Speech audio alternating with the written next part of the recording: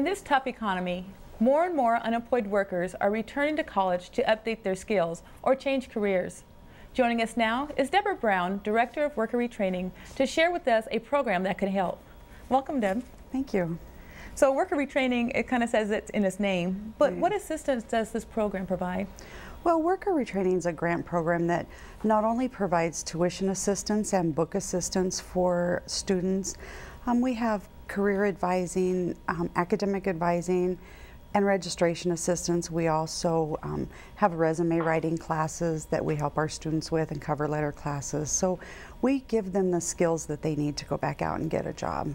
Great. So what are some of the vocational fields that worker retraining students can um, go into or study?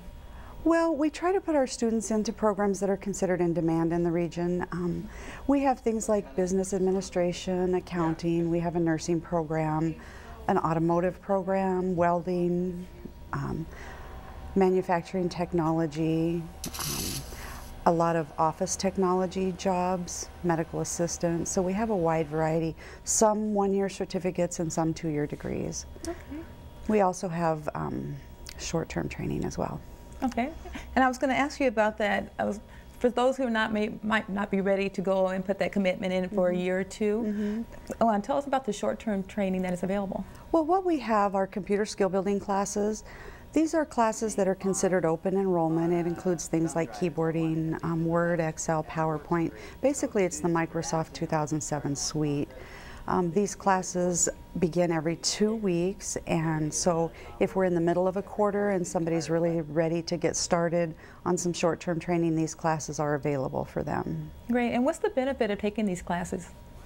These classes actually prepare people for employment tests. I know a lot of companies now test um, interview applicants for positions, and so we have a really good success rate with our students coming out of these classes and being able to pass pre-employment screenings. Okay, so who qualifies for worker retraining? We have a large population that we can actually assist. We, um, we help folks that are currently on Washington State unemployment. We also help people that have exhausted unemployment benefits within the last two years. We have a displaced homemaker portion of our program. That's for people that have not worked outside the home in the last two years. They've been supported by a family member and now they've lost that source of support. We help veterans who have been honorably discharged within the last two years. And we also have what we call incumbent workers. These are people that are working in the community. They either need to update their skills to remain employed or they are seeking degrees to advance in their company. So we do help a large population. It sounds like it. Mm -hmm. So uh, what if there's folks out there that think they might qualify or not sure? What, mm -hmm. How do they go about learning more about the program? We'd love to have them call our office. We have a very friendly staff, very helpful. Um, we'll try to find a way to help you qualify for our assistance. Uh, the phone number is 542-4446. And again, just give us a call and see what we can do for you. We, we try really hard to help. This concludes this month's Campus to Community. If you would like detailed summary on the topics covered today, contact information will be available at the end of our program.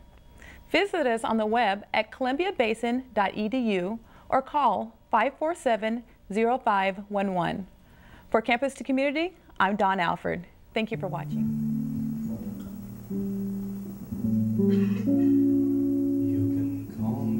Superstitious or perhaps down on my luck.